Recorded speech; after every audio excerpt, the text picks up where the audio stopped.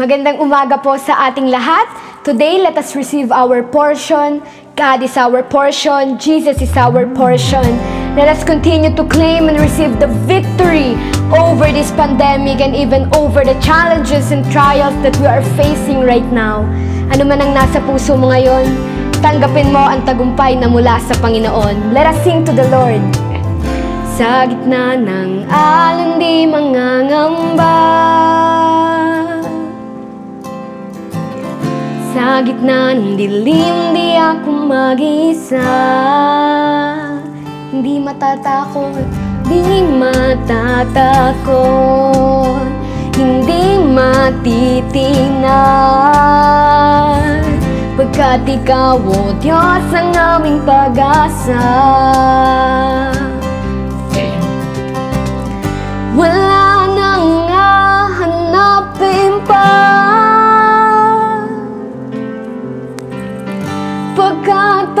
Diyos, sapat ka na. Pag-ibig mo, pag-ibig mo Kalungan ko, pangako mo Sandigan ko. Hallelujah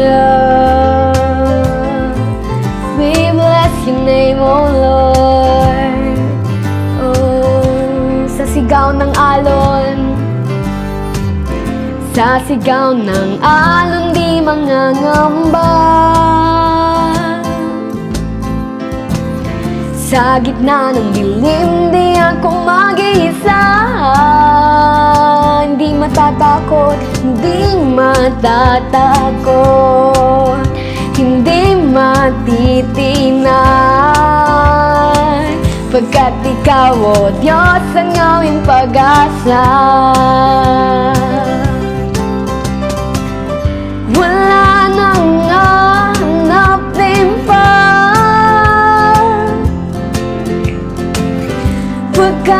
Pagkat, O Diyos, sapat na Wala na, wala nang hahanapin pa.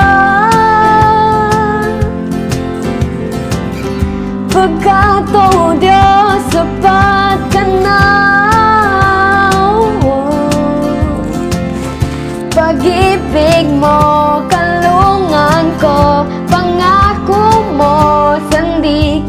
ko.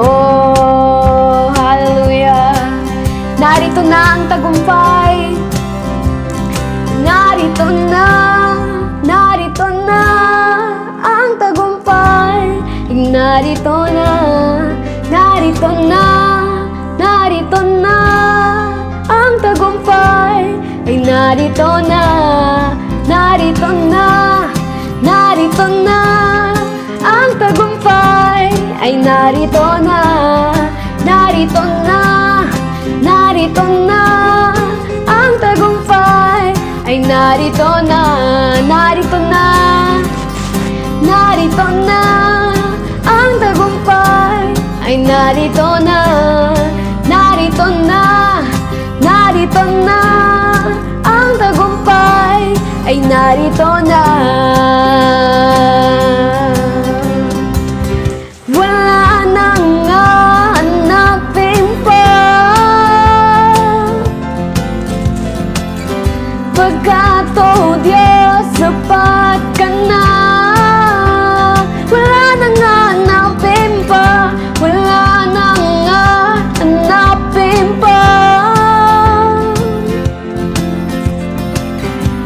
Pagkat, O Diyos, sapat ka na Oh, pag-ibig mo Pag-ibig mo, kalungan ko Pangako mo, sandigan ko Pag-ibig mo, kalungan ko Pangako mo,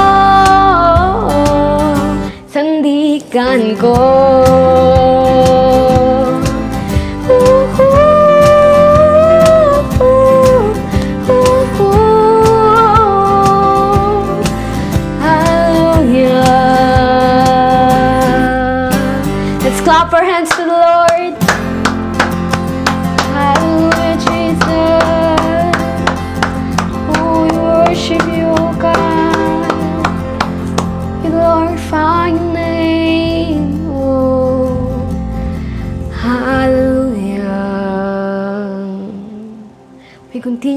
worship you, Lord.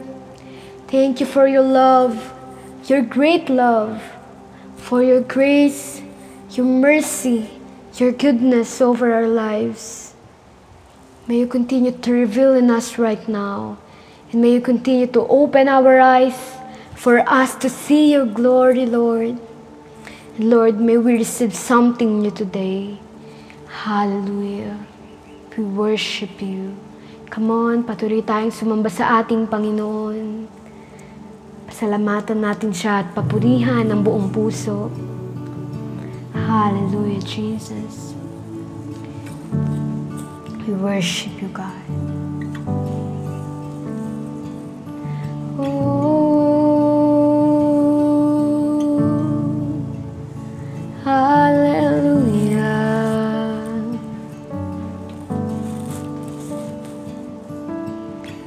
When I'm lost in the darkness, you remain as my light. In the pain and the sadness, you will hold my hand tight. Open my eyes to see your glorious face. You're all I seek, Lord. Your love is here, your mercy near, your love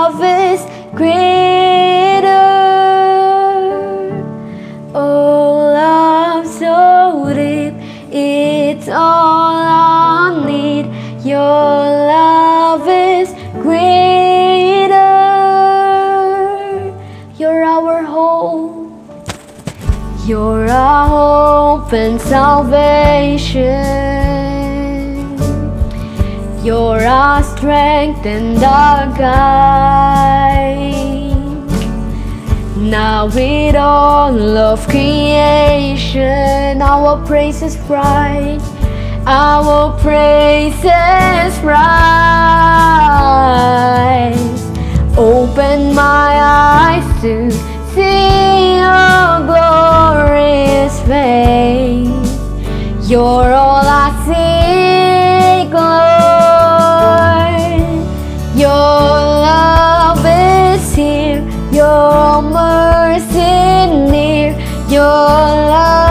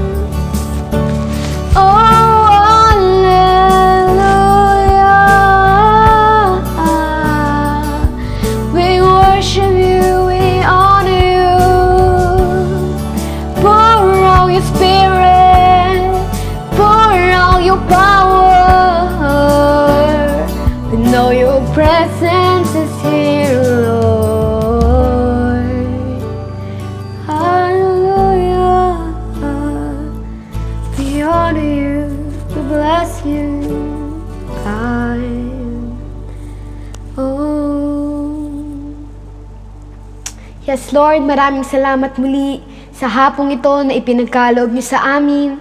At muli po kaming nakapagsama-sama, Panginoon, sa pagsamba sa inyo. Patuloy na kaming lumalapit at hinihingi namin ang iyong presensya. Maraming salamat sa iyong biyaya, pagpapala, at sa tugumpay, Panginoon, na naniniwala kaming matatanggap namin sa araw na ito. And Lord, patuloy na buksan niyo ang aming puso, Panginoon, upang muli tanggapin ang iyong mga salita at patuloy na lakaran namin ito, Panginoon. At sana po, Panginoon, ay maranasan namin ang iyong presensya patuloy, Panginoon. Ito po ang aming samot dalangin sa tayong pangalan ni Jesus. Amen and amen and amen.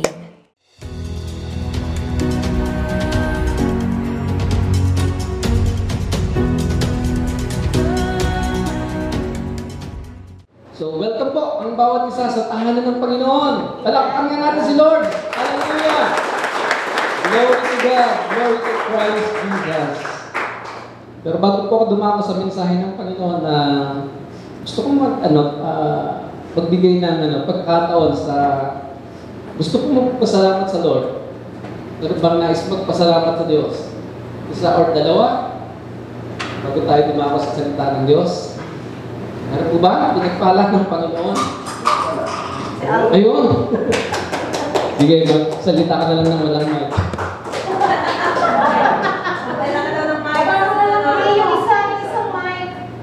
Po sa ating lahat. Kilala niyo na po siguro ako. eh.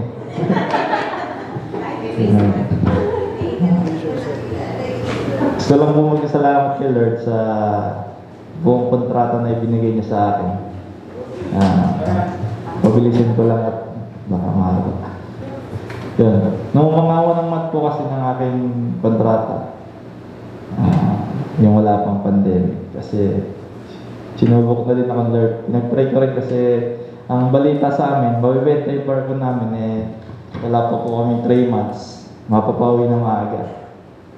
So, yun nga po, to make the long story short. Imbis na mabawi ang maaga, na-extend pa po ako ng 4 months dahil po sa pandemic. Uh, Nagpapasalamat hindi po ako kasi dahil sa pandemic, at least, yun po, hindi po ako napawi ng maaga uh, medyo nakaipon po ng konti pang suporta po sa, yun nga, sa pandemic at saka po pambigay. Tsaka alam ko lang po na kahit po ako ay na-extend, may purpose si Lord para makatulong din po sa iba. Yun, yun lang po. Salamat.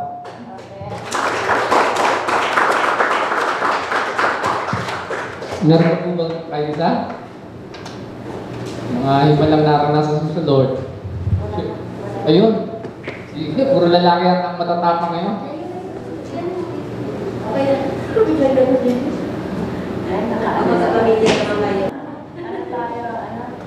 So, nagpapasalamat ako kay Lord, ano? Yung nga, opposite naman naman ni Alvin. so, di ba? Siya ay, yung, yung kanyang, ano, kanyang tawag ah, nung una, di ba, hindi sa, makauwi siya ng maaga. So, opposite naman kami. So, nagpasalamat ako kay dahil lahat ng ito may purpose eh. May merong plano. So, ako naman, Bali nung February, na medical na rin ako. Ibig sabihin, palis na ako ng April dapat. So, hindi naman natin alam na ganito pala ang mangyayari. Sabi na ng company, hindi natin alam na ito pala yung mangyayari na situation. So, kumbaga, instead na ako ano, instead na ako mangina, parang nagpapasalamat na lang ako dahil yun nga, sa mga pangyayari, sabi ko eh parang ano, parang may purpose. So sa loob ng mag 11 months na ako tambay, walang kita. So praise God dahil hindi naman kami nagkulang. So yung supply ni Lord, yung provision ni Lord, nandyan palagi. So nung nung dalawang linggo lang nakaraan, talagang dumaranas ako ng ng sobrang hirap na hindi ko maintindihan kung ito siguro yung ano eh, sabi nga ni Pastor Albert, uh, the new level of faith with God, the new level of demons attack us. So, ibig sabihin, huwag tayo magpatago sa demonyo. Kasi nung nakarang linggo talagang bagsak na bagsak ako dahil yung nga, yung nanay ko nasa ospital, eh ako walang trabaho, so wala akong magawa na kumbaga parang down na down ako. Isa lang tinawag ko, Panginoon lang. Talagang yung nanay ko kasi na-opera ng colon. Kumbaga, nung una kasi ang diagnose, yung diagnose kasi ng doktor, kumbaga ano, ah, appendicitis kasi tumikit na yung ano eh, yung kanyang colon sa appendicitis. So, nung nasa operation na, nasa operating room, talagang nabika na yung ng nanay ko. Tinawag yung kapatid ko na na nandun, na naghintay sa labas ng operating room. Ipinaliwanag sa kanya na yung nanay ko, life and death situation, pag kinuha yung bukol. So, nung time na yun, talagang ano, Noong time na yun, sinokok na yung buhay ko sa Panginoon. Parang meron akong covenant sa Panginoon. Kumbaga, parang hindi ko maiwasan umiyak eh, kasi ito yung katotohanan. Kumbaga, sinokok ko yung buhay ko sa Panginoon. Nandun ako sa labas ng bahay. O, alas 9 yun eh, hanggang alas 9 ng gabi. Doon sa likod ng ano, doon sa may, doon sa likod ng bahay namin. Doon ako sa may gubat. Lumunod ako na sa Panginoon, sinokok ko yung buhay ko. Kumbaga, sabi ko, Lord, kahit na nasa Panginoon ako, patuloy pa rin ako nagkasala. Ibig sabihin, hindi naman sa gawa, pero sa isip nagkakasala ako. Kaya sinuko ko yung buhay ko, parang meron akong kubinan sa Panginoon na, Lord, ito yung pinakamataas kong worship, Panginoon. Isuko ko yung buhay ko. Ibigay ko yung yung lahat ng buhay ko na ikaw control mo, Panginoon. Yung pag-iisip ko. So sabi ko lang na maligtas ang sinanay sa operation, sa operation, sabi ko yung panalangin ko na yung yung kanyang kaluluwa, hiningi ko sa Panginoon bantayan ng angel na hindi hindi umalis hanggang sa pagising ni nanay. And thank God na pag pa after ng operation, naging successful. Pag nung dahil sa recovery after 30 minutes eh naano na si nanay, nakamalay na. Kaya sabi ko eh, thank you Lord. Hanggang sa ngayon, hanggang sa hanggang, hanggang, hanggang sa paglabas naman ni nanay, problema naman namin yung billing, yung yung ano sa hospital, yung bill. Kaya sabi ko, Lord, sa ngayon wala akong wala akong may tulong. At thank, thankful ako sa Lord dahil meron akong na-invest sa probinsya na kahit paano nakakatulong. Kaya sabi ko, Lord, sabi ko, sa panahon ngayon wala akong pera na hawakan. Sabi ko, sa'yo ko nagkatiwala. So sa ngayon ko lang na araw, na-discharge na siya, kinabukasan pa sa nakalabas kasi yung sa hospital, yung sa hospital kasi namin, bawal din ng, hindi sa matanggap ng PN yung promissory note. Kahit na alam niya yung kapatid ko na nandoon, na kumbaga, nagsiservisyo dun sa municipality, eh, ayaw na tumanggap ng, ng ano, ng promissory note. Kaya, ang Panginoon nga, pinoprovide yung lahat. Kaya thankful ako na noong, noong that time na Noong nanalangin ako sa Panginoon, sabi ko, Lord, niligtas mo na sa operation, ito naman sa billing. Sabi ko, wag mo namang, sabi ko eh, kasi kung kinabukasan palabas na nanay, madidepress na naman siya. So that time, pasalamat ako sa Panginoon na talagang yung pera na nangyayari sa akin doon, talagang mabilis lang talaga ng bayad. Kumbaga, hindi kami, hindi, hindi pahirapan yung pagsingit.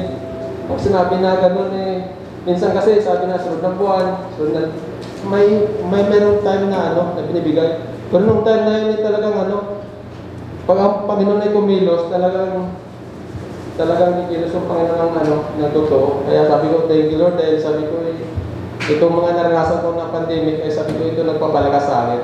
Kaya, nagpapasalamat ko kay Lord.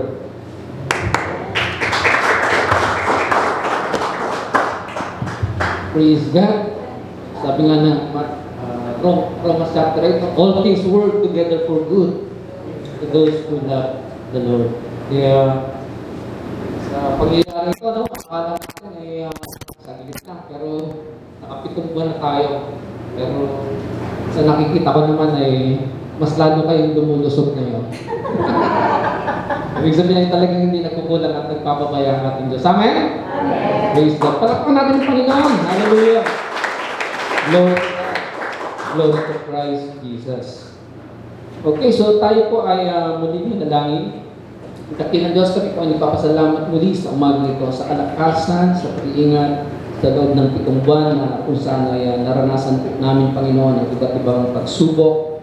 Naranasan po namin Panginoon ang iba't ibang labanan. Sa umaga nito naniniwala kami na ikaw ang nagbigay sa amin ng kalakasan, katatagan, pag-asa, sapagkat ang sino mang nagtitiwala sa iyo, O Diyos, ay hindi mo pinababayaan, hindi, hindi nagkukulang. At sino ang Panginoong lumalapit sa iyo, ay hindi mo binibigo sapagkat ikaw ang Diyos na nangako kailanman hindi mo kami iwanan hindi mo kami pababayaan. Sa umaga ito, salamat Panginoon, naniniwala kami na mayroon kang nakalaan na uh, fresh manna from heaven na patuloy na magbibigay sa amin ng kalakasan upang hindi lang kami mag-survive, kundi uh, marating po namin yung destiny na inilaan niyo po sa church na ito and that is to become fishers of men. Pagpalain mo ang bawat sa amin, Pagpalain mo, Panginoon, ang iyong mga salita at buksan mo ang aming puso at isipan upang matanggap po namin, O Diyos, ang mga kapahayagan na patuloy na magdadala sa amin sa buhay na walang hanggan. Ito po ang sama-sama namin dalangin sa pangalan ni Jesus. Ang lahat ay magsabi ng Amen. Amen. Okay, so tayo po ay nagpapatuloy sa ating serye ng pag-aaral about understanding your God-given destiny. And as a member of JFBC family, no? Again, no, we are destined to become fishers of men, no? So ano-ano ba ang mga bagay na kinakailangan nating maunawaan or truths to ponder uh, for being a fishers of men? First, number one, fishers of men are destined for a fruitful life. Fishers of men are destined to become influential. And fishers of men are destined to become strong. At ito po yung pangatlong dahilan at layunin ng Diyos kung bakit niya itinatag ang simbang ito. Upang tayo ay uh, maging matatag at malakas. So the ultimate purpose why Jesus built the church is for kingdom advancement. At kung nais natin maging bahagi po ng pag-advance ng kingdom ng ating Panginoon, at maging center po tayo ng pagkilos ng Diyos, paggalaw ng Diyos, kinakailangan talaga mapatibay, mapalakas po natin ang ating buhay pananampalataya sapagkat tayo po ang bumubuo sa iglesia ang katawan ni Kristo. Amen po ba? So nabanggit ko mga nakaraan that a weak church no, cannot advance God's kingdom. Only a strong church can advance the kingdom of God. And what is a strong church? Balikan po natin yung definition ni Dr. Jonathan David. Yung definition niya ng about strong church. So what is a strong church? Sabay-sabay nga po tayo. Ready? Go! A strong church is a local church that has become the center and hub of divine activity, carrying a spiritual prevailing position to enhance kingdom influence by exercising dominion over the spiritual realm. It keeps the heaven open and making it conducive for the Holy Spirit movement in the region and beyond. So, sabi nito, ang isang malakas na simbahan o iglesia ay sentro ng pagkilos at ginagawa ng Diyos.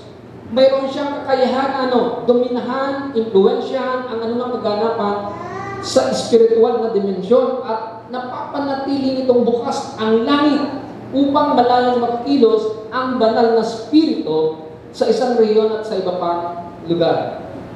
Naniniwala po ako, without the Holy Spirit, hindi po tayo makakasurvive ng 7 months sa pandemic na ito. Do you agree with me? Kaya, nagpapatunay po ito na talagang tayo ay pinatibay at pinalakas ng Panginoon. Kaya kinakailangan magpatuloy po tayo. No? We need to be strong in the Lord.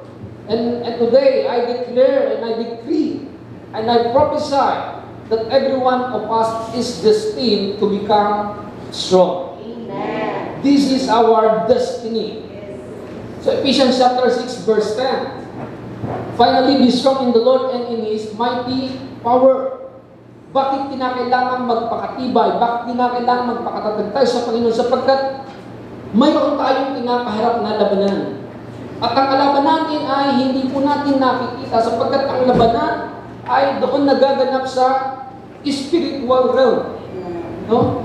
Akala natin ay okay lang ang nangyayari. Akala natin walang nagaganap. But the truth is, in the spiritual realm, araw-araw, oras-oras, minu-minuto, meron po tayong battle na kinakaharap. Hindi nga lang natin nakikita. Parang COVID-19. No? Hindi natin nakikita. So what should we know about being strong in the Lord? So being strong in the Lord means to becoming empowered.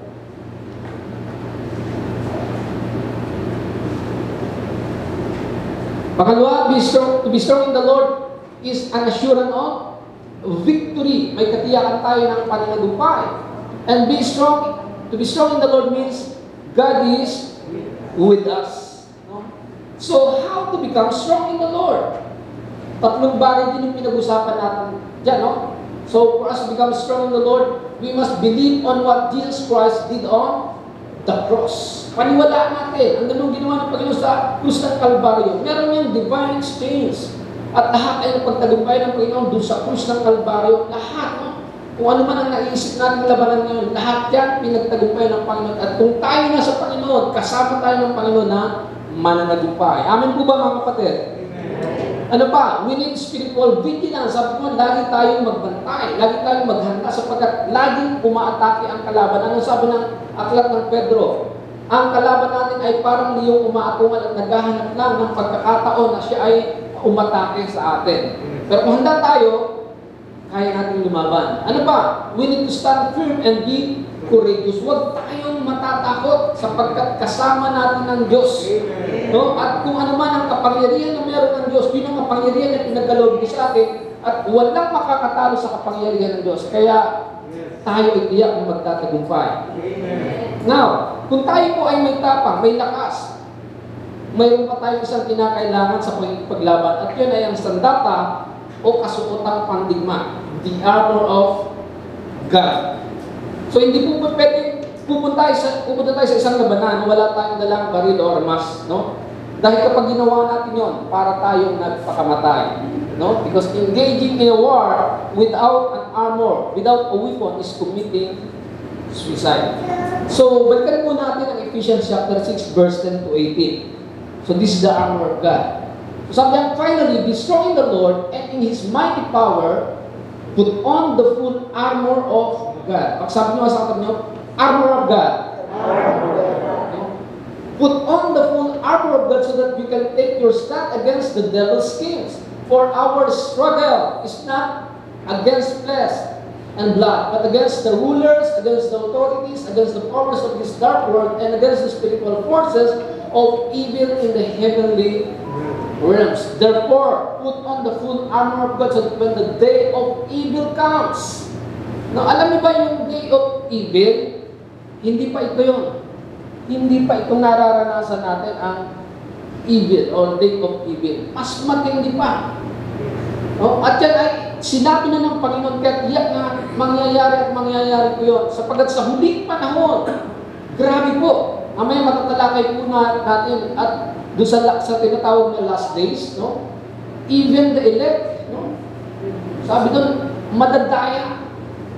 Kaya hindi tayo magpapakatatag sa Panginoon, kahit sinasabi natin matagal tayong Kristiyano, matagal na tayong born again, matagal na tayong naglilingkod sa Panginoon, pwede kang madaya. Ewan ko na paano yung sinasabi ni Pastor Wilbert last last Friday lang yata yun. Meron siyang 30 years na kasama sa church. Hindi lang to kasama, worker sa church. Pero ngayon, kumala sa simbahan. Kaya hindi mo ba siya agan o iksik na pananatili mo sa church para ikaw ay hindi mawala sa simbahan. At once na ikaw ay nag-detach na sa church, the body of Christ, saan ka pupulutin? Hello? Remember the Goshen? No? Kung saan inilagay ng Diyos ang Israel? Doon sa lugar ng Egypt. Lahat ng plagues, no, dinanas ng, ng Egypt. Pero yung mga Israelita na nandun sa Goshen, the place of safety, the place of provision, the place of kung saan nandun ang presence ni Lord, sila po ay ligtas doon. At sila doon ay pinagpala ng Diyos. So, ang Goshen sa panahon natin is the church. Pero wala tayo sa Goshen, hindi tayo connected sa church. We are detached from the body of Christ. Where is your safety? Where is your provision? mahihirapan tayo. Kaya napakahalaga, no? Sapagkat yung panahon ng uh, evil, sabi nga, itiyak na darating. Ano pa ang sabi dyan? Therefore, put on the full armor of God so that when the day of evil comes, you may be able to stand your ground, and after you have done everything to stand, stand firm with the belt of truth buckled around your waist, with the breastplate of righteousness in place, and with your feet fitted with the readiness that comes from the gospel of peace. In addition to all this, take up the shield of faith, with which you can extinguish all the flaming arrows of the evil one. Take the helmet of salvation and the sword of the Spirit, which is the Word of God, and pray in the Spirit in all occasions with all kinds of prayer and request, with this in mind. Sabi niya, with this in mind, kung itong mga bagay nito ay nasa ating isipan, no? Ano ang sabi? Be alert, always keep on praying for all the Lord's people. Kaya nga, Itong Ephesians chapter 6 is the most famous passage talking about the spiritual warfare. No? And in this spiritual battle, we need to gear ourselves with the full armor of God. No? Kinakailangan isuot natin yung baluti, no? yung kalasag, yung ating mga sandata sa ating pakikipaglaman, pakipaglaban, no? And putting an armor of God is necessary if we want to stay on the ground. Sabi ko nga kanina, ang kalaban natin ay hindi nakikita. Ang kalaban natin ay naghihintay lang ng oras para, para umatake. And sabi ko nga, in this pandemic na ating nararanasan ngayon, hindi lang physical or psychological battle ang ating kinakaharap, but it is a spiritual battle. No?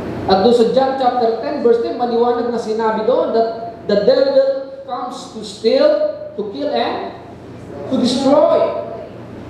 Kaya hindi po titindig ang mga anak ng Diyos at makikipaglaban. Magpapatuloy po ang pagbagsak at pagkawasak nung tinatawag na eight pillars of society which are the family, the church, the government, the business, the education, the science and technology, the media, the sports, and culture.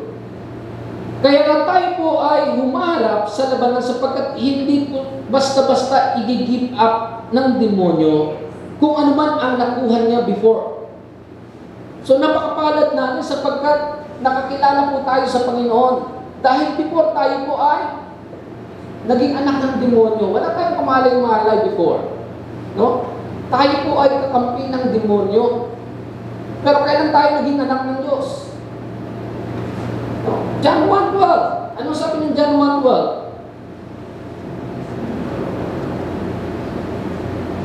Dito ba yun? Parang wala.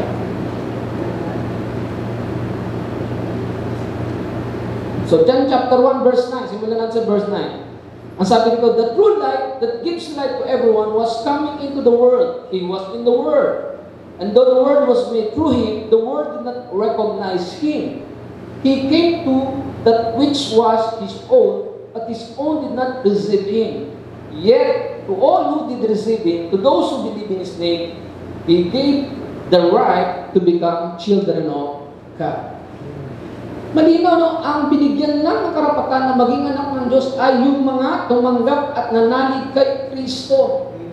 Sad to say, kung may kakilala tayo na hindi pa nananalig, hindi pa tumatanggap kay Kristo, hindi pa nananampalataya, hindi pa nire-recognize yung ginawa ni Jesus Christ sa cross ng Kalbaryo. They are the son of God. They are the son of the devil. Dalawa lang naman yan. The, the family of God, the family of the devil. Pero ang binigyan ng karapatan ng Diyos na maging anak niya, lahat lang ng nanalig at tumanggap kay Kristo. Kaya nga dito, no? The true light that gives light to everyone was coming into the world. Sino yung light na tinutukoy dito? Si Jesus Christ. He's the light of this world. Pero anong sabi? Nireject siya ng mundo. Kapurihin ng Panginoon, tayo.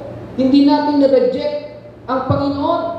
Tinanggap natin siya at yun ang naging daan para tayo ay maging anak ng Diyos. Kaya mula sa kadiliman, na, nalipat po tayo sa kaharian ng kaliwanagan. No? Kaya nga, ang ginagawa ngayon ng demonyo, gusto tayo ihilahin pabalik sa kanya. Hinahatak tayo ng demonyo pabalik sa kadiliman. No? Kaya tayo ay sumusuo ngayon sa isang labanan, no? isang spiritual battle, sapagkat nais ng demonyo, hilahin niya tayo pabalik sa kanya. Kaya ang bilin ni Apostol Pablo sa Ephesian Church, be strong in the Lord. Be strong in the Lord. Ano sabi sa verse 11? Put on the full armor of God so that you can take your stand against the devil's schemes. Maraming ginagawang taktika, pamamaraan ng demonyo. Inwala tayong kamalay-malay. No? Pero umaatake ng palihim ang kaaway. At kung hindi po tayo magiging sensitive, kung hindi tayo magiging aware, na wala tayong kamalay-malay, na ibabalik na pala tayo sa kadiliman. Kaya sabi niya sa verse 13, Therefore, put on the full armor of God so that when the day of evil comes, you may be able to stand your ground and after you have done everything, to stand. So ano-ano ba yung mga full armor of God na yan sinasabi sa Ephesians chapter 6? What are the full armor of God that we have to put on? At kinakailangan natin isuot yung mga kalasag, yung mga baluti, yung mga kasuotang pandigma. Number one is the girdle or the belt of truth, yung sinturon ng katotohanan. Pangalawa is the breastplate of righteousness or baluti na katuwiran. Number three is the footwear of the gospel o yung sandalyas o sapatos ng pagiging handa. Number four is the shield of faith, no? panangga, ang pananampalataya, the helmet of, of salvation, and the sword of the Spirit or yung tabak ng Espiritu na walang iba kundi ang salita ng Diyos. So last week, ito yung tinalakay natin, the girdle or the belt of truth. No? So anong sabi ng John 17 verse 14, 17? I have given them your word and the word has hated them for they not of the word any more than I am of the world. My prayer, no, sabi ni Jesus, my prayer is not that you take them out of the world but that you protect them from the evil one. They are not of the world even as I am not of it. Sa- sanctify them by the truth. Your word is truth. Kaya kung suot-suot po natin yung girdle or yung belt of truth, alam niyo ba that the girdle often symbolize strength and readiness. Kapag suot mo yung ng katotohanan, the word of truth, ibig sabihin, handa tayo sa labanan. No? Prepared tayo. At kapag ang katotohanan ay nasa sa atin, no, may lakas tayo, handa tayo sa anumang atake ng kalaban. At sino ba yung truth na yon? Si Jesus mismo. Pagkat sinabi ng Panginoon, I am the way, the truth, and the life. No one comes to the Father except through me. Kaya kung tayo po ay may salita ng Diyos, salita ng katotohanan sa ating mga puso, hindi tayo madaling madadaya ng anumang kasinungalingan ng demonyo. Kapag alam natin ang katotohanan, ito ang nagpapalaya sa atin at nagpapalaya sa anumang uri ng kasinungalingan ng demonyo. Kapag alam natin ang salita ng Diyos, magagawa natin ang kalooban ng Diyos. Hello? Alam niyo kung bakit minsan hindi natin magawa ang kalooban ng Diyos? Hindi natin alam ang katotohanan. Pero kung alam natin ang truth, magagawa natin ang kalooban ng Diyos. No? John chapter 8 verse 31 to 32. To the Jews who had believed him, Jesus said, If you hold to my teaching, you are really my disciples, then you will know the truth, and the truth will set you free. So knowing the truth and handling it properly involves continuing in Jesus' teaching. No? Ito yung uh, magbibigay sa atin ng direction kung paano natin magagawa ang kalooban ng Diyos kapag alam natin ang truth. And if we want to give ourselves with truth, then we have to understand the teaching of Jesus consistently and follow it. No? Kinakailangan hindi lang natin alam kundi ginagawa natin, sinusunod natin yung kalooban ng Diyos.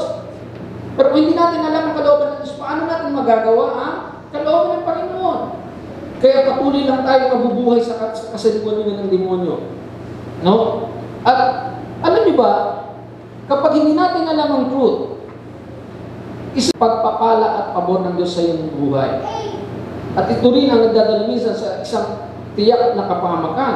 That's why, if we want to experience the benefits of having the belt of truth, we need to gear our mind, our heart with the truth of God's Word. And if the truth of God's Word is in your mouth, you can recreate this word.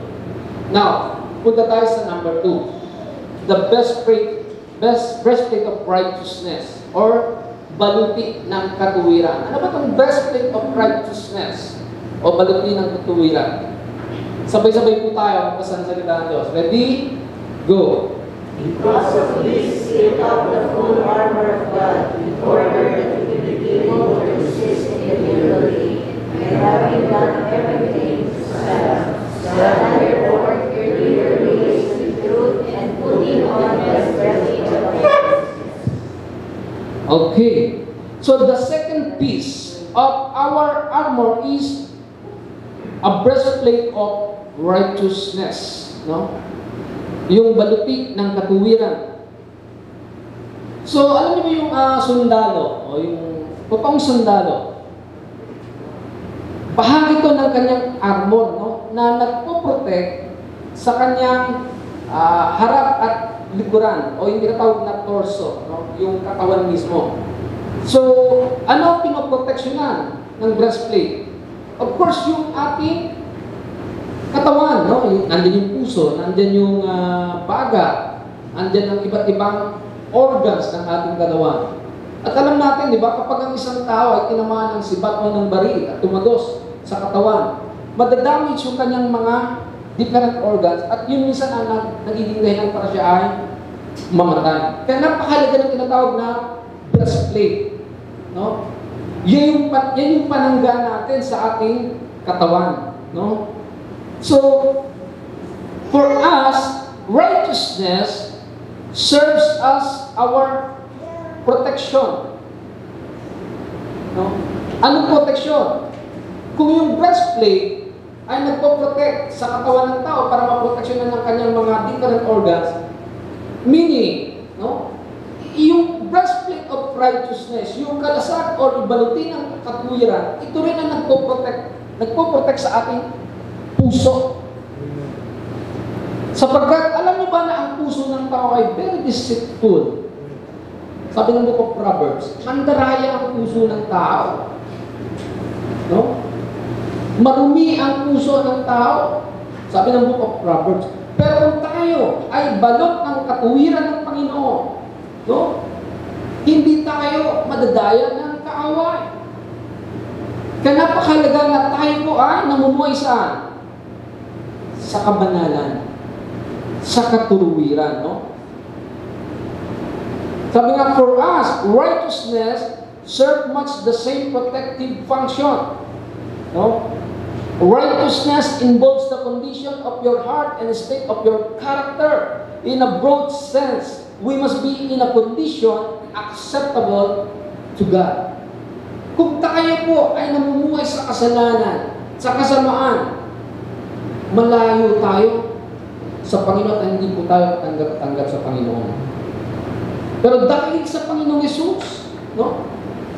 Yung ating kasalanan ay tinubos niya sa pamamagitan ng kanyang dugo na natigis po sa krus ng Kalbaryo. That's why righteousness no, ay ibinihis po ito sa atin ng Diyos nung tanggapin natin si Kristo bilang Panginoon at tagapagligtas. And sabi nga, in a broad sense, we must be in a condition acceptable to God. It also refers to the doctrine concerning the way in which man may attain a state approved by God. Deuteronomy 5.29. Anong sinasabi po sa Deuteronomy 5.29? Oh, that their heart would be inclined to fear me and keep all my commands always so that it might go well with them and their children forever.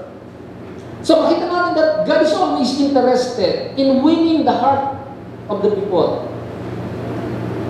Gusto ko sabihin sa inyo mga kapatid, wala kayo dito ngayon kung hindi na win ni Lord ang mga puso natin. So kaya tayo naririto ngayon. Kaya tayo ay nasasabik sa salita ng Diyos. Kaya tayo nauuho sa presensya ng Lord.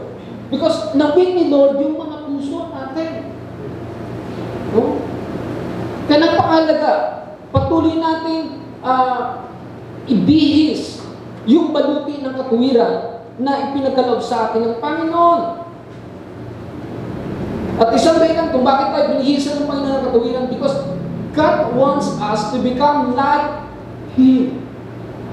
Gusto ng Panginoon tayo ay maging kawangis niya muli sapagkat from the creation, nilikha ng Diyos ang tao na kawangis niya kaya lang because of sin. Nung nagkasala si Adan at si Eva, napalayo tayo sa Diyos. No?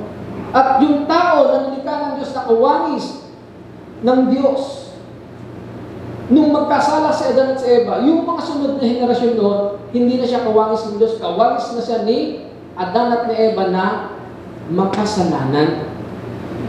Pero dahil siya sa biyaya ng Diyos, because of the Lord Jesus Christ, ibinabalik tayo ng Diyos sa bagiging kawangis niya. Palakpakan nga natin ang Panginoon. Hallelujah. Glory to God. Glory to Christ Jesus. Kaya sabi sa Isaiah 59 verse 17, He put on righteousness as His breastplate and the helmet of salvation on His head. He put on the garments of vengeance and wrapped Himself in a zeal in a cloak. So mismo si God ay nagtataglay ng kabanalan at katuwiran. No? The breastplate na sinasabi po rito is something that God, God give us to wear. Si Lord mismo meron ito, kaya kayang-kaya niya nitong ipagkaloob sa bawat isa sa atin. It is also something that He wear Himself. This is truly armor of God that He is sharing with us. The armor na meron ng Diyos na ibinibigay naman niya sa atin ngayon. Jeremiah 23, verse 6, in his, in his days, Judah will be saved and Israel will live in safety. This is the name by which he will be called, the Lord, our righteous Savior. So si Lord is the righteous Savior, Jehovah Chitkenu. No? God is righteous. At ito yung isa sa mga essential character ng, ng Diyos na pinaglilingkuran nito. Mismong si Lord, may suot-suot na breastplate of righteousness because He has the right to it. It belongs to Him. At kung ang, ang Diyos ay meron ito, yun yung katuwiran na binibihis niya sa atin ngayon. Now, what is righteousness? What is righteousness? Righteousness is the quality or state of being morally correct and justifiable. It can be cons- considered synonyms with rightness and being upright. So sa, sa, sa definition nito, napakalaga no, maunawaan natin na ano ba ang layunin ng Diyos? Bakit mahalaga itong tinatawag na righteousness or righteous living? Kasi sabi niya, it is a quality or state of being morally correct. Ibig sabihin na, tama ang ating ginagawa, tama ang ating mga pag-iisip. Nandun tayo sa matuwid na pamumuhay. Justifiable yung ating ginagawa. Kalugod-lugod sa Panginoon. No? So, righteousness involves doing what God says so that you can become like Him and walk in relationship with Him. At alam niyo ba, bakit may pandemic ngayon? Bakit may crisis ngayon? At bakit buong mundo ang nakakaranas nito? Na kung saan, sabi nga sa Pilipinas pa lang, nasa 300,000 ang na-infect dito. Sino po nakakaalam ng ah, record sa buong mundo na naapektuhan ng COVID-19? Ano po ba nakakaalam ng figure? Ilan na ba? Hindi na namin na monitor. Ano pa nakakaalam? Figure. Ha? Ilang milyon na? So, alam niyo ba yung dahilan kung bakit nangyayari ito? At bakit buong, buong mundo ang naapektuhan ito? Kasi, sabi sa Isaiah 29, ah, 26 verse 9, wala pa rin dyan. Isaiah 26 verse 9. When your judgment come upon the earth, the people of the world learn righteousness. Naniniwala po ko na itong pandemic na ito is a form of judgment ng Diyos sa buong mundo. Why? So that matutunan po ng tao ang muling magbalik loob sa Kanya. Malinaw ang sinasabi ng Isaiah 26 verse 9. When your judgment come upon the earth, the people of the world learn righteousness. So based sa scriptures nito, God wants all the people on the earth to learn righteousness. Naalala nyo sa panahon ni Noah, ginunaw ng Diyos ang buong mundo.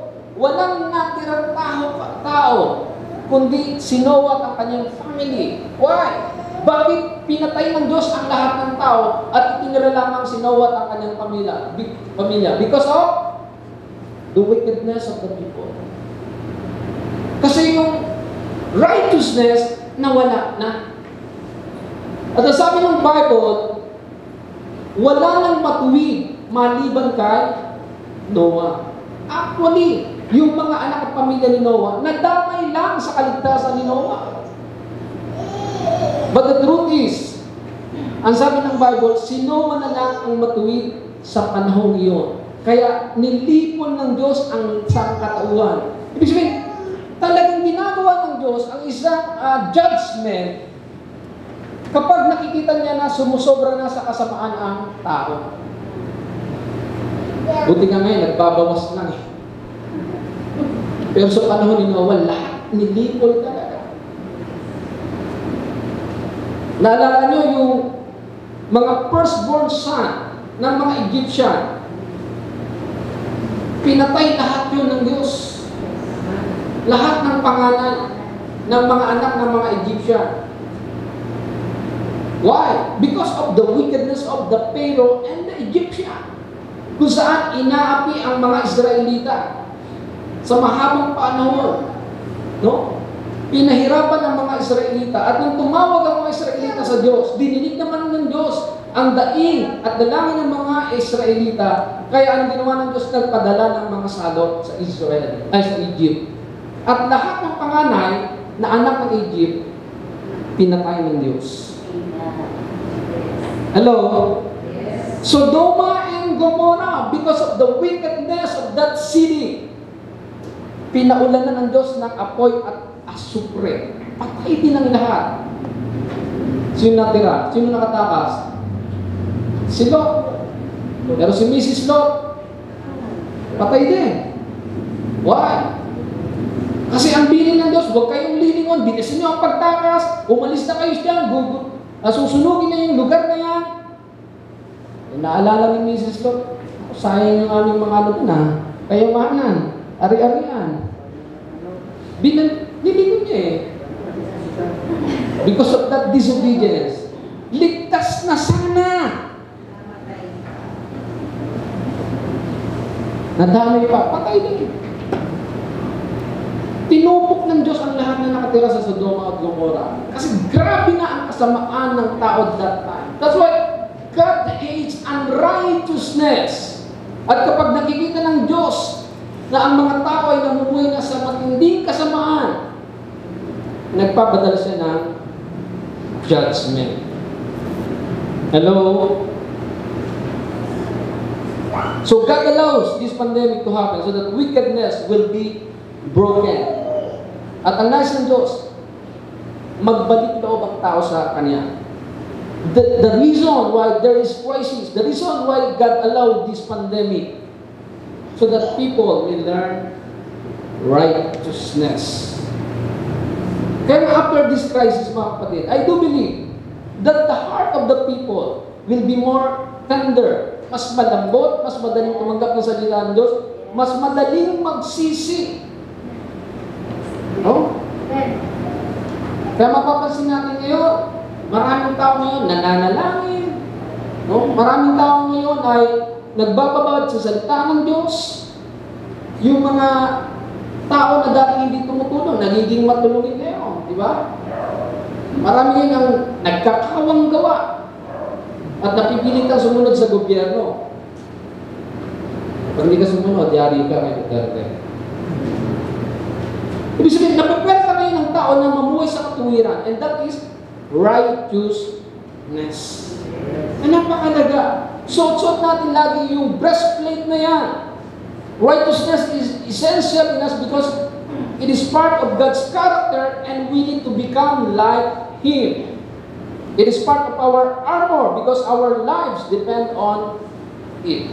So what should we know about righteousness? What should we know about righteousness? Number one, we become the righteousness of God because of Christ.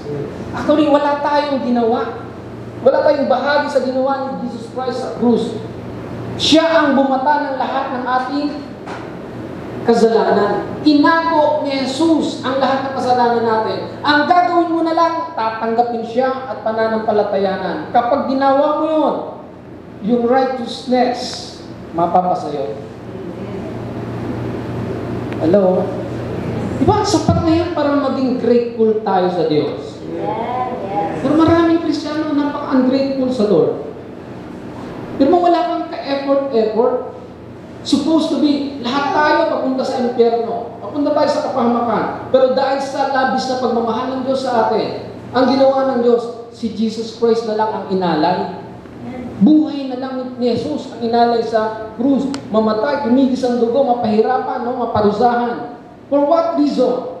So that yung ating kasalanan, ma- mabura, mawala, maalis. Kaya sa pamamagitan ni Jesus, we become the righteousness of God. Na ibig sabihin, kapag nakikita ka ngayon ng Diyos, hindi ikaw ang tinitingnan niya, hindi ikaw ang nasa isipan niya, kundi kung anong ginawa ni Jesus sa krus. Because of Jesus Christ, lahat ng kasalanan natin, napawi, nabura. Palakpakan natin ang Panginoon. No, 2 Corinthians 5.21, God made Him who had no sin to be sin for us. Walang kasalanan si Kristo. Hindi siya dapat maparusahan ng kamatayan. Sino ang dapat maparusahan? Ikaw at ako. Kasi tayo ang may kasalanan, tayo ang nagkasala. Pero dyan, sabi, God made Him who had no sin to be sin for us so that in Him we might become the righteousness of God. Naging matuwid tayo ngayon sa harapan ng Diyos. So what does it mean that we are righteousness of God? Anong ibig sabihin niya? The righteousness of God in Christ means that you are justified, declared righteous because you have had your sins cleansed by Jesus. Lahat ng kasalanan mo, yung past sin mo, yung kasalukuyin mong kasalanan, your present sin, and even your future sin, mga kapatid. Past, present, and future sin. Once and for all, lahat yan. Tinubos na yan ni Kristo. Grabe! Pero hindi lisensya yan. Ibig sabihin, ay, pastor, yung kasalanan mo pala gagawin bukas, pinatawad na ni, ni Lord. Hindi po license yun. Sapagkat sabi ng Bible, ang tunay na anak ng Diyos hindi nagpapatuloy sa kasalanan. Kaya hindi lisensya. Na, totoo, yung gagawin mong pagkakamali bukas, yung gagawin mong kasalanan bukas, bayad na yun kasi minsan lang namatay si Jesus sa krus. Hindi na siya mamamatay muli para tubusin ka. Isang beses lang. Pero lahat ng kasalanan natin, past, present, and future, we are already justified. Ang ibig sabihin ng justification, as if we did not commit sin. Parang hindi tayo nagkasala. Ano pa? Number two, Without righteousness, there will be no maturity in the life of believers. Kung hindi tayo mamuhay sa katuwiran, hindi tayo magmamature. Hebrews 5.13 to 14. Ah, 2 Corinthians 5.21 muna. Anyone who lives on milk being still an infant, it is not acquainted with the teaching about righteousness, but solid food is for the mature, who by constant use have trained themselves to distinguish good from evil. No? So, ang isang nagagawa ng righteousness ay nagiging matured po tayo na mananampalataya. Hebrews 5.13 verse 14, wala dyan, no? Anyone who lives on milk being still an infant is not acquainted with the teaching about righteousness, but solid food is for the mature, who by constant use had trained themselves to distinguish good from evil. Kaya nga, huwag tayong magalit, huwag tayong ma-offend kung tayo po ay nakakarinig ng mga pangangaral na medyo matitigas. Why? Sapagkat ito ang magpapatibay sa atin. Hindi po pwedeng habang panahon ang tinakain lang natin ay gatas. Ang gatas ay pambata po lamang. Kung ikaw ay infant o 3 years old, okay lang. No, ang kinakain mo araw-araw, gatas. Pero kung ikaw ay 10, 13 years old na, gatas pa rin lang kinakain mo. There's something wrong.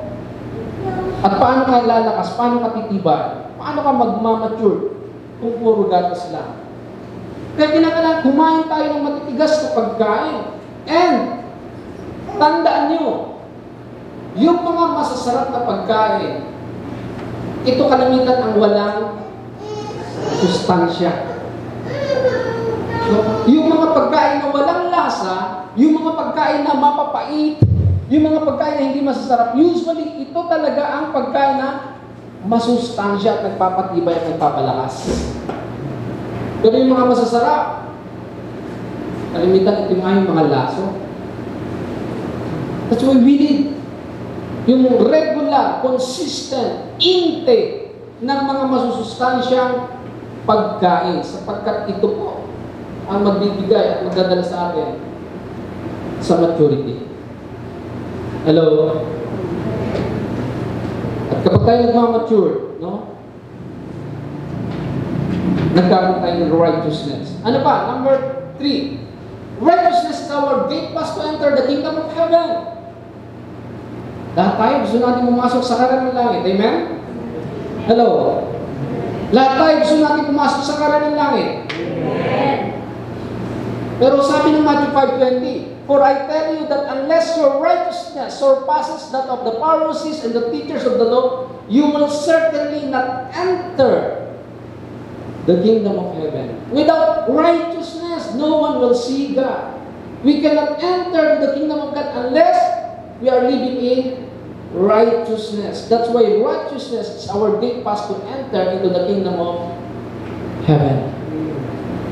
Gusto natin pumasok sa langit, sa karang ng langit, mamuhay tayo sa kabanalan at sa katuwiran. Ano pa? Those who are hunger and thirst for righteousness is a blessed person. Iyan ang totoong pinagpala ng Diyos. Kung may nakikita kayong mga tao, kung may mga kakilala kayong tao na sampu ang sasakyan, lima ang bahay, hindi po yan ang mga pinagpalang tao. Kung may kilala kayong mga tao na nabibili ang lahat ng gusto nila, napupuntahan ang mga lugar na gusto nilang pasyalan, hindi yan ang taong pinagpala. Hindi yan ang totoong pinagpala.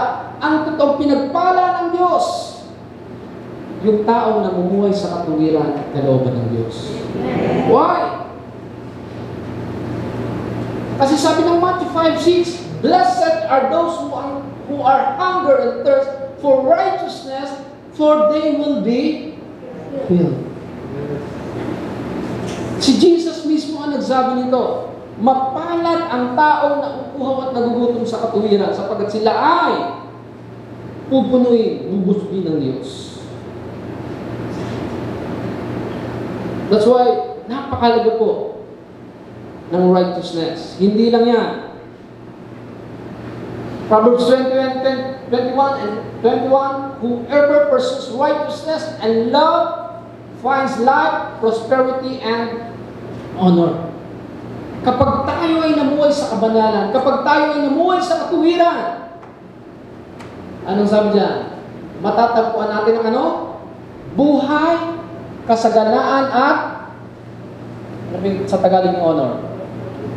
Karangalan. Karangalan. Magiging marangal ang buhay mo. Magkakaroon ka ng buhay. Magkakaroon kayo ng kasaganaan.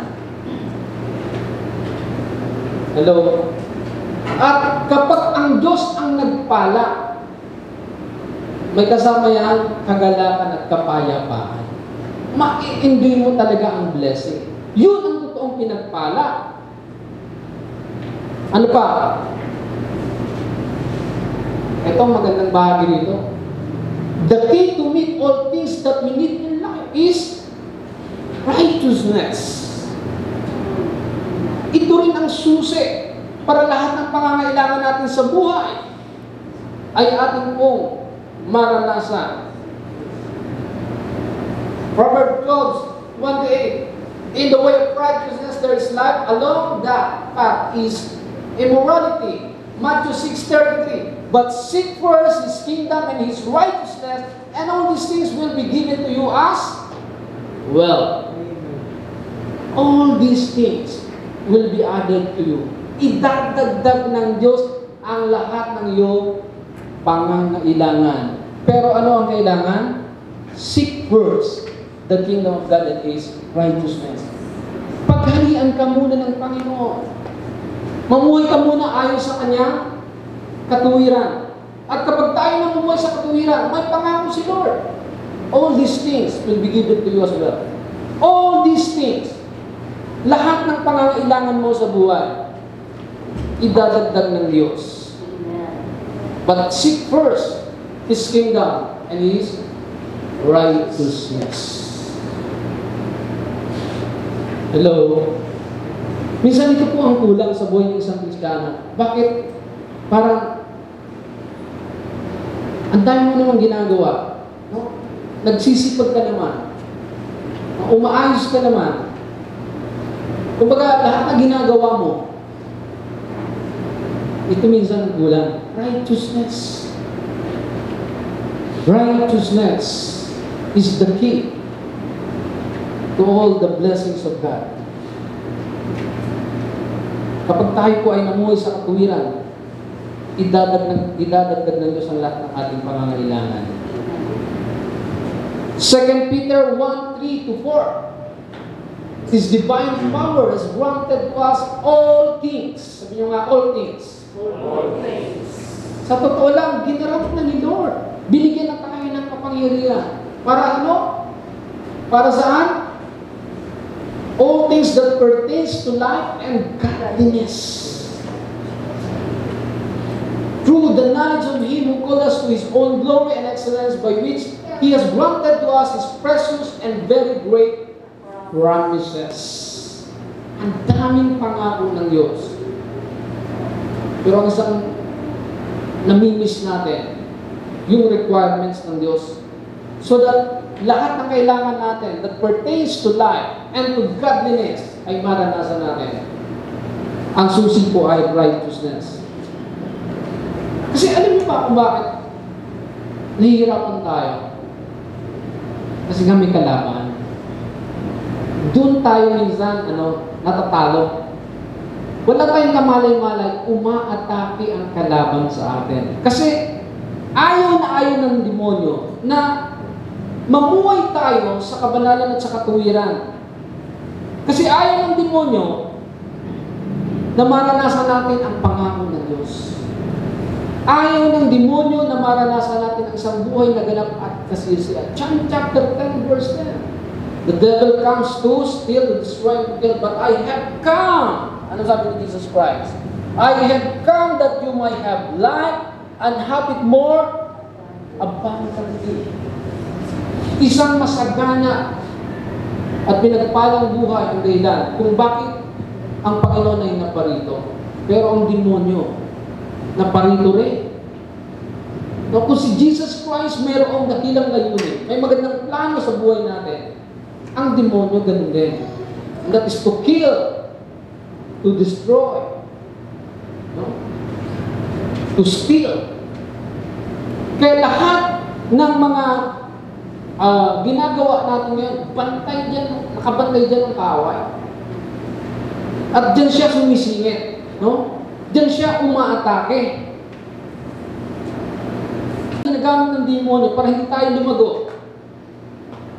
Inaagaw niya yung atensyon natin para matuon ang focus natin sa maraming bagay kagaya ng mga ano, trabaho, negosyo, sports, basketball, ano pa? Internet, SOCMED,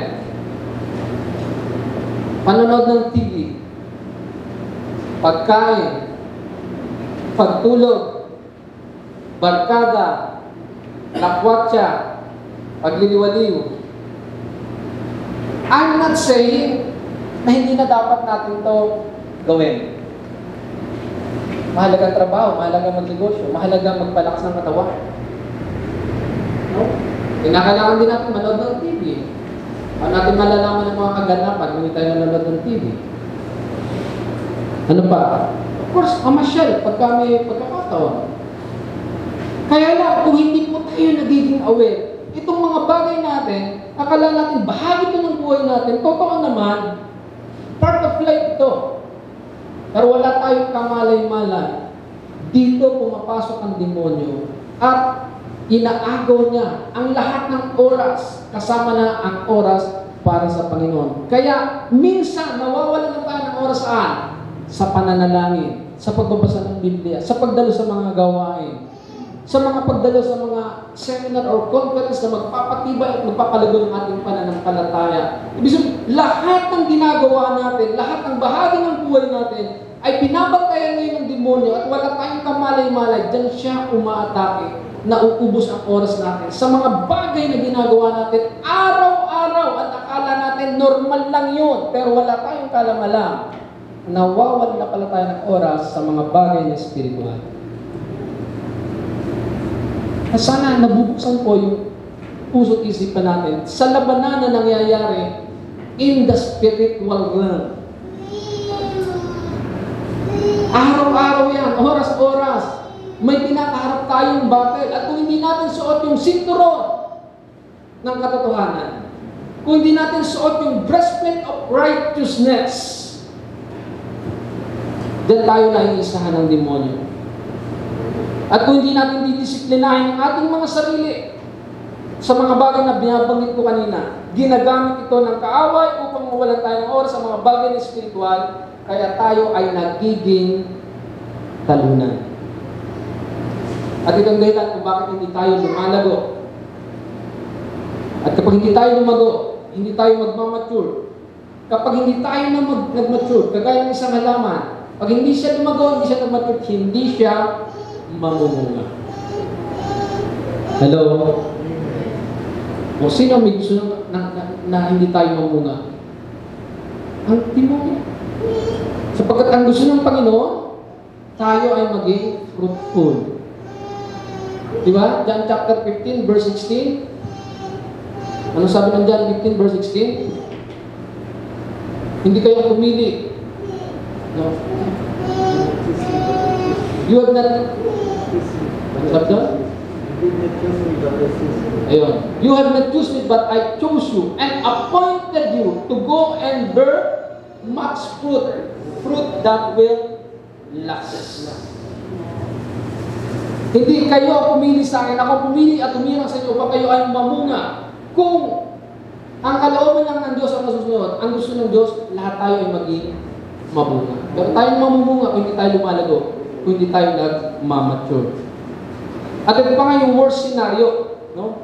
Kapag napalayo ang puso natin sa Diyos, tuluyan na tayo tatalikod sa ating pananampalataya. At ito po ang nakalulungkot at nakakatakot na pangyayari sa buhay ng isang Kristiyano. Ito yung sinasabi ko kanina sa Matthew 24 verse 10 to 13. This is our last verse. Matthew 24 verse 10 to 13. At that time, many will turn away from their faith and will betray and hate each other, and many will and many false prophets will appear and de- deceive many. Because of the increase of wickedness, the love of most will grow cold, but the one stand firm to the end will be saved. So ito po ay isang prophecy ni Jesus Christ that at, the, at dun sa tinatawag na last days, no, sa mga huling panahon, So, ang sabi niya, many will turn away from their faith. Ano sabi? Many. Hindi isa, hindi dalawa. Many will turn away from their faith. Many will betray and hate each other. Many false prophets will appear. Many will be deceived. Many, their love for the Lord will grow cold. Kaya nga sabi ni Pastor Wilbert, kabiling-bili na niya. Kapag nababasa natin ang talatang ito, let us pray to God. Hindi tayo mapasama sa many na to. Paano tayo hindi mapapasama sa many na to? Yung belt of truth, yung breastplate of righteousness, dapat suot-suot po lagi natin. Sapagkat ito po ang susi para tayo ay mag-grow, mag-mature, para tayo makapasok sa kanan ng langit, para pagharian tayo ng Diyos, para matanggap natin yung mga pagpapala ng Panginoon, at upang hindi po tayo madaya at matalo ng kalaban. Kaya ang buhay natin ay tiyak na magtatagumpay. Amen?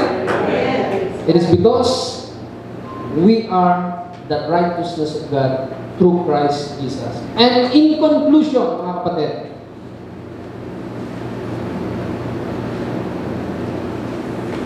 the breastplate of righteousness deflects the enemy's attacks because it wraps, it wraps up, it wraps us up in God's character. And the more we become like God, learn what He expects, and do His command from the heart, the less easily will be deceived. Grant po, sa last days, no? Many will be deceived. Sino yung madideceive? Yung matatalo at lalagpak sa labanan. Kaya, huwag tayong papayag. Ngayon pa lang, no, ngayon pa lang, isuot na natin ang sinturon no, ng katuwiran, ang katotohanan at yung breastplate ng katuwiran.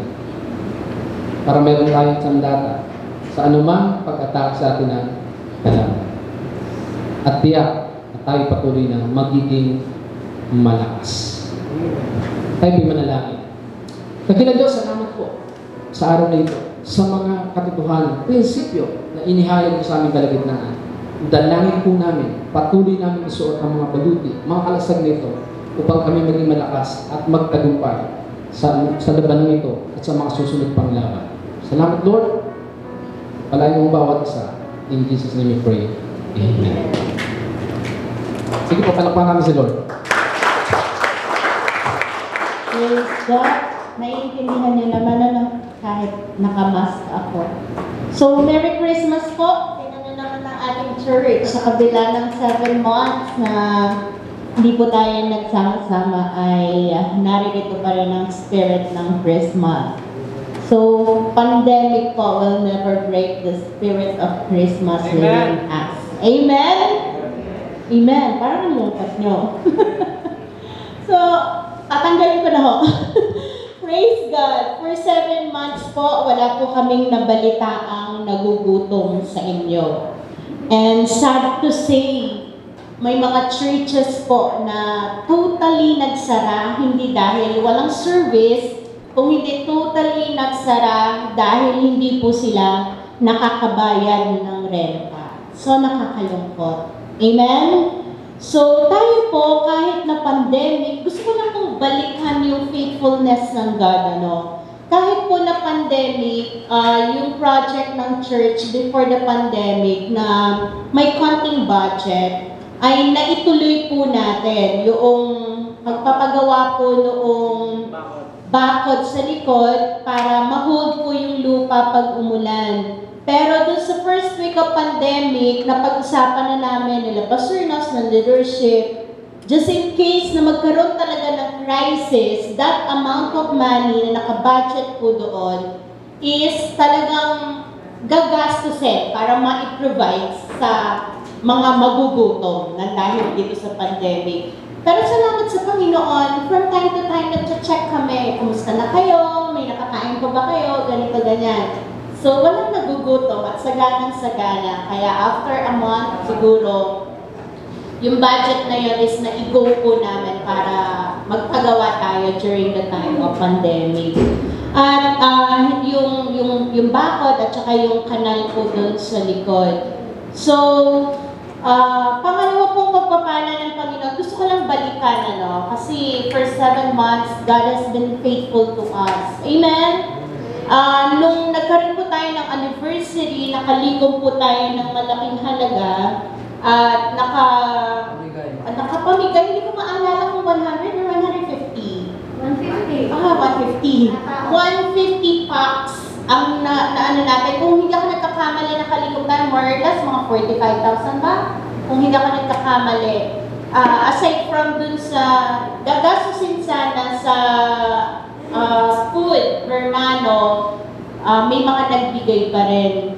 At uh, meron ding 100 packs, aside from 150, na ipinadaan sa atin at naging daan yon para from time to time, every day, nag-share kami ng Word of God sa mga kumukuha dito ng mga relief. Amen? Sa mga hindi po nakakaalam. At sa mga nakakaalam, balikan natin yung uh, faithfulness ng God. And recently, hindi lang po yan, ano, kasi kung iisa-isayin ko lahat, kulang yung oras kong tumayo rito. And recently, ayan, yung laptop po yan na nakikita nyo, that cost 70,000. Yung Predator po yan. So, kinakaila, kinailangan po natin yan dahil puyat na puyat si La Chuck, si Pastor Joe Pau for rendering, for uploading, gawa ng naghihit po yung mga laptop na ginagamit namin yung laptop namin at saka yung laptop ni Pastor Jopao. So we decided na bumili ng mas high-end. And praise God, nakalikom po tayo ng 60,000 at uh, yan po ay inabunohan ng church yung mga 10,000 dahil may fund yung church, nabili po natin yan in this time of pandemic. Amen? Hallelujah! Praise God. At yan po ay meron pong free, previous na gaming chair na pag nakikita niyo po yung recording ni Pastor Nos, eh, sabi nila Pastor Wilbert, lalo na pag nakabalong si Pastor Nos, sabi niya, sabi nila is para ka ng mayor. Kulang na lang daw yung marmol. Sabi nila, Pastor Wilson kagabi. Yung ma- marmol ma- na, na may nakalagay, honorable uh, mayor. Praise God! At lagi nilang pinapansin kasi ah, nakakausap nila sa Zoom dahil ah, ah, yun, yung, ah, yung minsan tumatawag si Pastor Wilbert pag after na mag-preach ni Pastor Nos, sabi niya, ang ganda ng chair mo! Ah, saan ba nabili? Sabi ni Pastor Nos, bumili lang po kayo ng, ng laptop at libre po ito. Kaya sabi, wala pa kami pambili ng, hindi si Pastor Wilbert ah, ah, wala pa kami pambili ng laptop eh, upuan lang muna. So praise God. Nakakatuwa, ano? At salamat mga kapatid kasi ah, in this time of pandemic, we prove our church as a family. Amen. Amen? Kasi yung iba, pag hindi na umattend, wala na yung giving nila. Amen? Pero tayo still, ah, kahit wala tayong gatherings, yung giving natin, may own means and way para maipaabot natin sa pangangailangan ng simbahan. So sa ating mga naririto, it's easier kasi sila Pastora Opel, sige pa rin ang hayo nila in the midst of pandemic, at uh, naibibigay natin, napapaabot natin sa treasurer and uh, uh, others naman, uh, may online banking, itina-transfer nila from their own bank uh, to our bank uh, bago withdrawin at inilalagay natin sa fund ng church. So napatunayan po natin that we are a family. Amen. At napatunayan talaga na God has been faithful all throughout these seven months. Alam niyo po, ah, imagine po, ah, in this time of pandemic, while others are in crisis, pero purihin ang Panginoon. Yung iba pa nga sa atin ngayon, nagpapagawa ng bahay eh. Diba? Nagpaparenovate ng bahay eh. Kami, nung, nung, nung time of pandemic, alam niyo po ba, napagawa po namin yung kwarto namin dyan para matulugan namin at mabantayan namin ang ating dahan. And at the same time, napagawa po namin yung CR din namin dyan. Napatayos namin, napalagyan namin ng ah, maayos na bowl. And then, in this time of pandemic, ah, nakakatuwa kasi others are in crisis, pero kami po, because of yung mga loans namin, nung nasunog yung tindahan, malaki-laking halaga, pero nakakabayad po kami. Amen? So, purihin ang ating Panginoon dahil tunay na mabiyaya siya. And uh, in this time of pandemic, gusto ko rin pong sabihin sa inyo na kaming mga pastors, yung ordained installed pastor dito, pumapasok po kami dun sa Piedmont. And this October, graduate na po kami. Amen? Uh, I consider it a blessing. Imagine ha, uh, magkakaroon kami ng hindi certificate, it's a diploma. Bachelor. Bachelor in Theology Art. Theo- Arts and Theology. Ayun. And uh, mas mataas po si Pastor Nos kasi siya po ay graduate ng my masteral. At kung siya po ay magpapatuloy, kasi siya po yung admin eh, yung admin ng Piedmont dito sa INTA. So, kung siya po ay magpapatuloy na, halimbawa magturo, ah, after ng pagtuturo, ang, ang ibibigay sa kanya ng Piedmont is ah, doctoral. Tama ba, Pastor Nos? So, ibig sabihin, I just want to tell you na ah, talagang tinatry namin yung best namin as pastors of this, this church na hindi kami, ah, gamitin natin yung word na pipitsukin. Amen? So, we will be graduating, Pastor Mavic, Pastor Office, Pastor Joshua, ah, ako po, and then si Pastor Nos po is masteral. At hindi po yun kumukulang kami na libre. Ah, may tuition po yun. Nakabayad na po kami ng aming graduation fee, hindi natuloy. Dapat nung March 18 po yun. Ah, konting oras lang po ha, kasi na-miss ko kayong kwentuhan eh.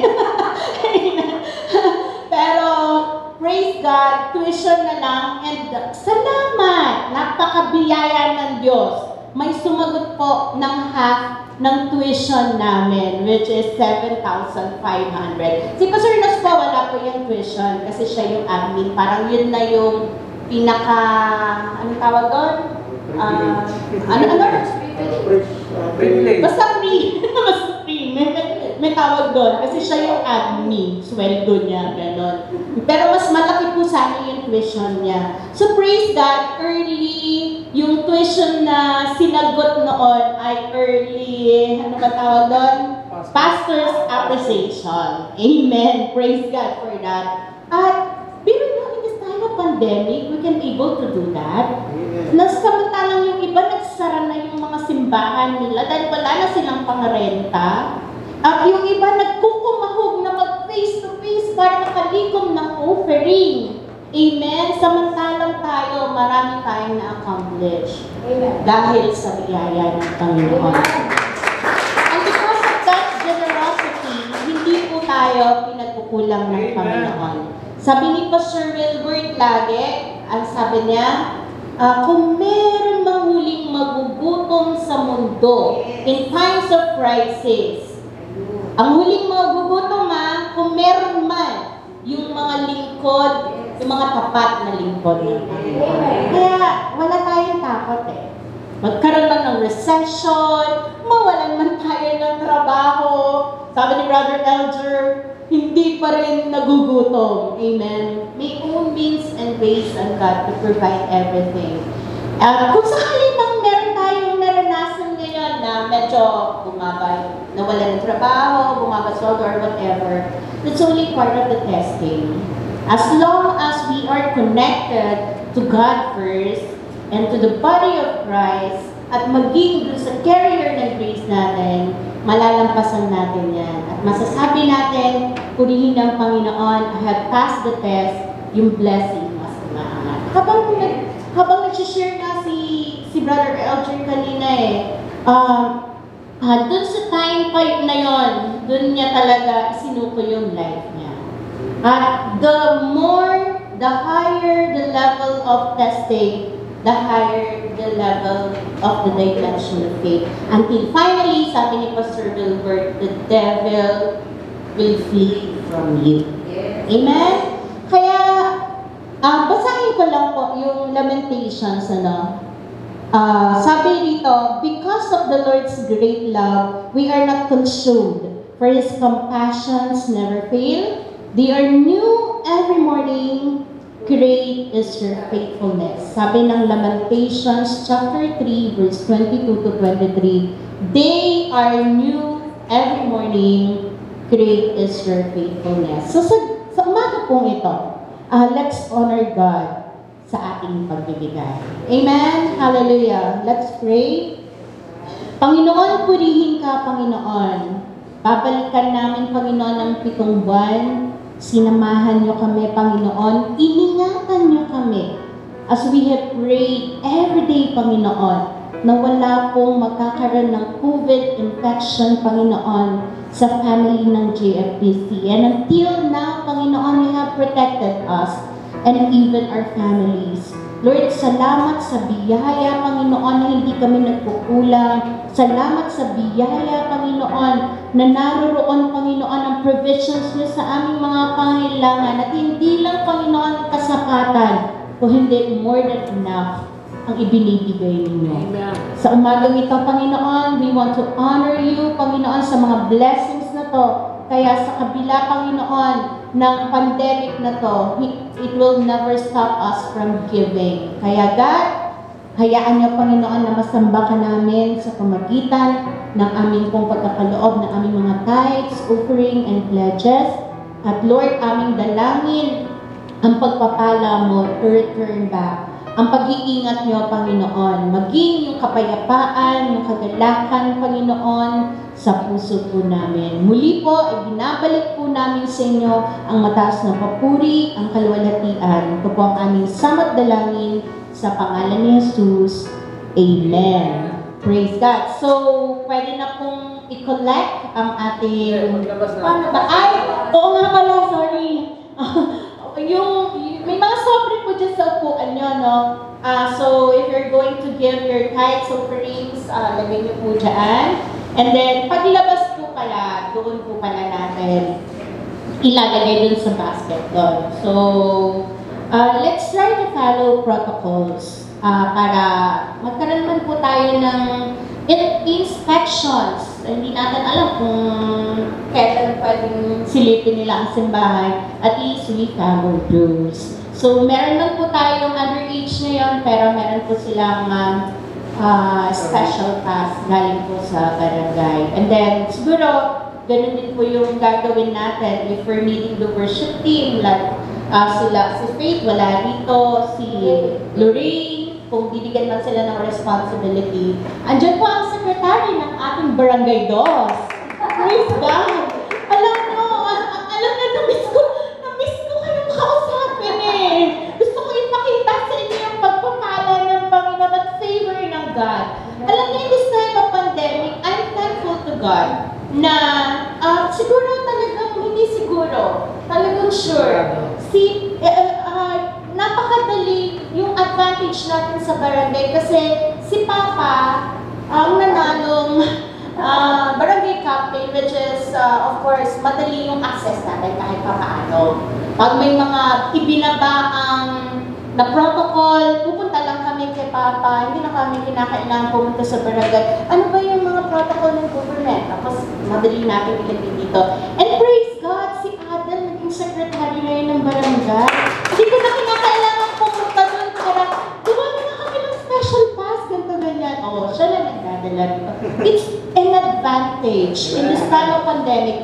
Alam talaga ng Diyos kung ano yung gagawin niya in favor to our church. Amen? I want you to see it ang Diyos natin talagang is on our side. That He's been blessing her church.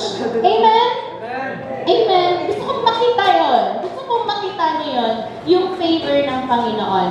At tunay na talagang pag lumakad tayo in righteousness, yung favor ng God, patuloy na darating at darating. So, tapos na po tayo, nag-closing. Magka-closing prayer pa ba ako? Kala ko wala na. Kasi nasanay tayo ng recording eh. Ano to? Ano? Dry run? Parang nangangapa tayo eh, no? So, magmamadali kami umuwi. Wala na pong tsikahan ha, kasi diretso na kayo uwi para ma- ma-prevent yung spread ng COVID.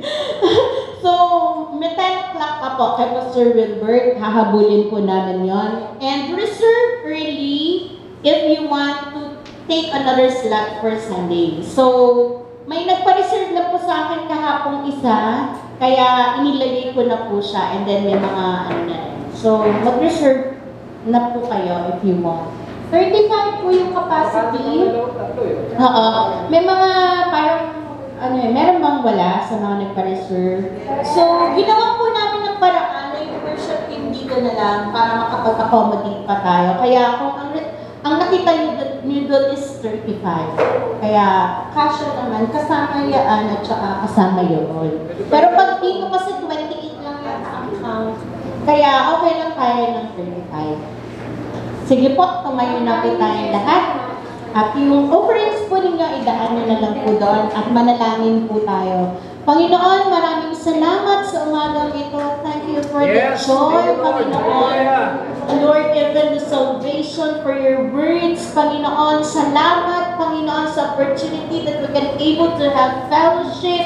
Bagamat pinaglalayo kami, Panginoon, ng sitwasyon, pero Lord, our spirit are uniting, Panginoon, upang magkaroon, Panginoon, ng greater impact, Panginoon, sa buhay ng simbahang ito, sa buhay ng community na kinalalagyan namin, sa buhay aming family. And at this time, we're praying, Panginoon, muli sa paghayo po namin sa aming ah, workplaces, Panginoon, Lord, kung saan man kami dadako, I'm praying for your protection, Panginoon. Amen. Amen. I'm praying, Panginoon, for your provision. Yes. Lord, babalik kami, Panginoon, sa aming workplaces na meron kang mga surprise, Panginoon, na blessings para sa amin. And even promotions in this time of pandemic, Panginoon. Salamat, Panginoon. Tunay nga po, pagpalain nyo ang bawat isang naririto. Kayo po ang nakakaalam ng desire ng puso po nila, ng prayers po nila, at lalabas kami, Panginoon, sa simbahang ito, na granted, Panginoon, ang lahat ng aming prayer request. Sa iyo ang papuri, sa iyo kalwalhatian, sa iyo ang mataas, Panginoon, na pagsamba. Ito po ang aming samot dalangin sa pangalan ni Jesus. Amen and amen. Meron pa kasi ritong birthday. okay lang ba? Sige, umupo po muna kayo saglit. Sandali, meron pa po ditong birthday. Happy birthday this October kay Avera Martinez. Ah, sa mga kung nanonood sila ng live mamaya, ah, October 1. October 3, Alberto Becedo. Banana cake na yan. October 8, Annalisa Marvon. October 8, uh, VJ Avilla. Nasa 13 po sila. October 10, Rodante Telmo. Wala po siya, pero nandito ang wife. October 10 uli, Joshua Emmanuel Telmo.